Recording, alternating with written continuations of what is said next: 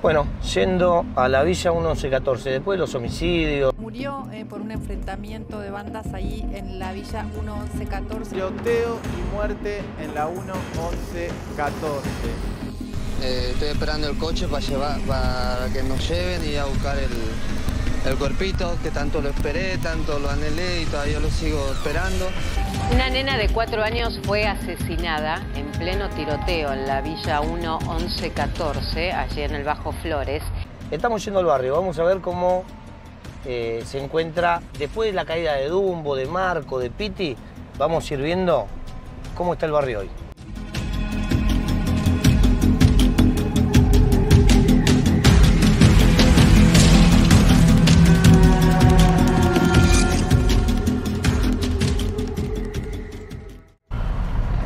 Estos son uno de los paredones que tengo acá a mi izquierda que se conocen como los pasillos de los zombies. Acá lo que se ve, muchas veces ves todo quemado, todo bueno. Acá la gente que sale de, de la 1114 o de la quemita son los que van a comprar eh, pasta base y van caminando por acá. Y cuando decimos zombies, son zombies.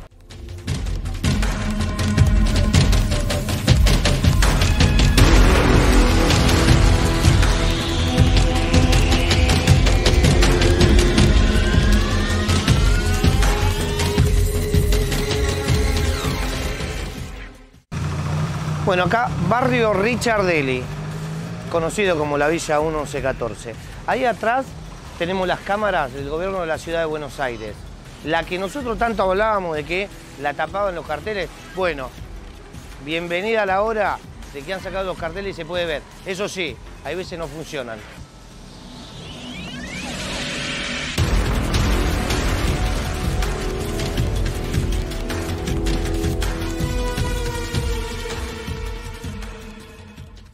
Bueno, este es el ingreso, acá es donde vamos a entrar, donde todo el mundo conoce lo que es la Villa 1114, pero la vamos a hacer a pie. Vení, acompáñame.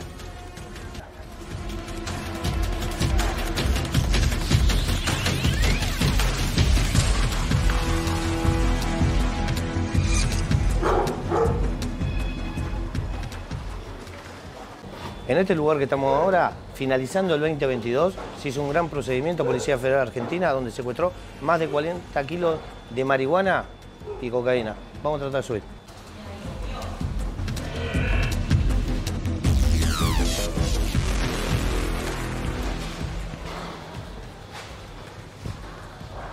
Fíjense lo difícil que era llegar hasta acá. Los detectives de Policía Federal tuvieron que lograr sortear todo esto y subir acá arriba. Acá es donde se encontraban, se escondía la, droga incautada. De hecho, vos fíjate, estaba tapada con todas estas sábanas y con las medias sombras, ¿sí? Estaba tapado. ¿Cómo funciona esto? Así. Acá se acopiaba, se escondía acá, y de acá con esto, donde tenés una cuchilla para ir cortando, y esto servía como rondana. Desde acá bajaban con una soga y bajaban iban subiendo la droga y la plata. Ahí escondían la droga, está la rondana. Por acá, mirá, por acá subían, esta puerta la cerraban ellos, ¿sí? Estaba la droga, claro, vos decís, pero así solo, no. Acá arriba, ahora donde te voy a mostrar, había un soldado y un satélite, que eran los que cuidaban el tema del el acopio y que nadie pueda venir y lo descubra. En este caso lo hicieron, ahí se sentaban.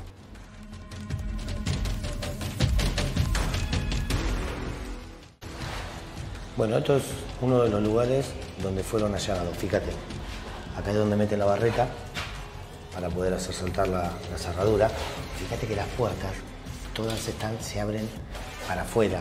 Eso dificulta el trabajo de cuando vienen con el ariete y cuando vienen a allanar. Estos son los golpes. Pero fíjate, algo, algo increíble. Todavía quedan. Mirá. Estas son todas bolsas que después esto van cortando, hacen recortes, hacen los recortes y de acá salen por ahí 500, 1000 dosis o de cocaína, pasta base o marihuana. Las bolsas quedaron.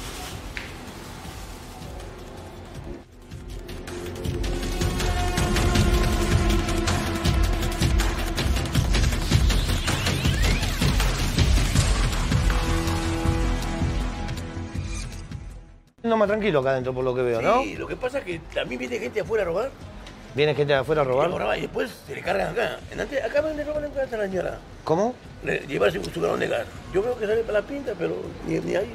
Pero el tema, ¿cómo? Porque después de la caída de Dumbo, de Petit, está mucho más tranquilo esto. Sí, porque no, ya casi nadie está vendiendo. No, no. Casi nadie está vendiendo. Porque- Están enloquecidos, veo perdidos que están buscando, pero no encuentran. Todos están presos, pero como dices tú, todos están presos. Están todos presos. No, no, nadie. Y eso, yo no, no, no, no es que lo halague, ¿no? Pero cuando los muchachos estaban, también a veces cuidaban acá. Nadie te robaba, te quedabas tirado ahí con tus cosas, no te pasaba nada. Alguien robaba, chapán al medio, Al medio, ¿qué quiere decir? al donde le daban su katana. Y correcto, no pasaba más nada, todo en orden. Pero ahora, Y ahora se está viviendo la inseguridad más que nunca. la gente de antigua era otra cosa, papi. Había códigos. Había, Había códigos. Ahora, gente, lo de- después que se fueron presos todos ellos, no quedó nadie. No quedó unos nadie Unos cuantos bolivianitos que estamos diciendo. que tiran gilada. que le sacan una aguja, salen corriendo, no hacen respetar nada. Antes sí que hago. Alguien se quería meter, los pibes también se paraban de mano, ¿viste? pero Es decir, el corredor seguro del narcotráfico desapareció. desapareció. Quedaba así en nada. Uno que otro puede hacer la suya, pero, Pero nada. pero nada. Pero hoy sufren la inseguridad. Eso muy bien la suya. Ya la gente no sale casi la noche, porque en la noche te roban a los vecinos, todo. Claro, creció, la, creció el robo, se fue, Sí, bajó sí, sí, sí. la venta de estupefacientes y subió el robo. Bastante, bastante bajo la, la venta, pero, pero la inseguridad es lo que estamos viendo ahora. Gracias, maestro. Bueno, esta es la calle San Juan y calle del Sol. Este es otro de los puntos estratégicos. Es más, en, en el barrio se dice, el que gana dentro de las organizaciones, el que gana justo este punto es el que se queda con la villa. A la madre de la disputa se da en estas cuatro calles. ¿Por qué? Porque realmente tenés salida para todos lados y ves para todos lados. El que gana este punto, gana la villa. Se registraron cientos de eh, enfrentamientos armados, porque claro, es un punto estratégico, de hecho más, para que vos veas, ¿ves que está lleno de puestos en el medio de la calle? Bueno, todo esto sabes para qué es, para que no puedan entrar los policías.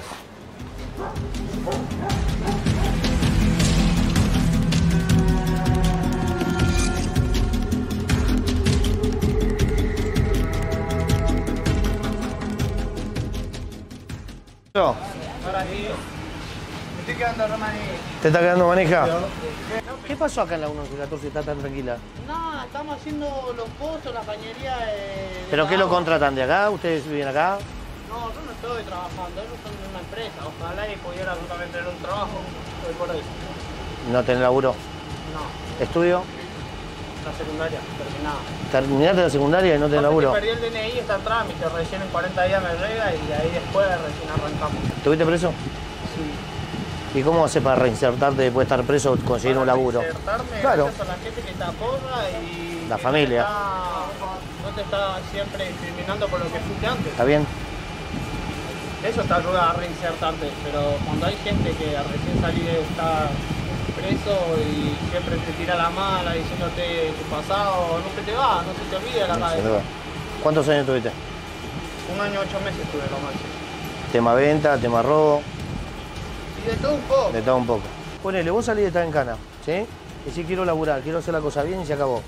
¿Podés? Y la gente que sabe que estás que estuviste en cana tal vez duda. Y muchas veces no te dan trabajo. Y el ponele te agarra, hoy ya no está la organización de Marco, de Piti y todo eso, de Dumbo. Pero si vos salís de estar en cana, ¿te daban la posibilidad de laburar de soldado, de satélite, de algo? Eh, sí, si te da y si tenés la necesidad, la necesidad te obliga. Y vamos a. Y sí, muchas veces la, sí, muchas veces la necesidad, y lo digo siempre en la tele yo, ¿eh?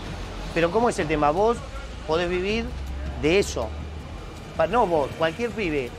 Podés Puede- puede vivir. Mientras estés en la calle, pero también podés morir de eso. Vos te dan para que venda. Te la robaron, vinieron, te carancharon, te, te capearon y te robaron la droga.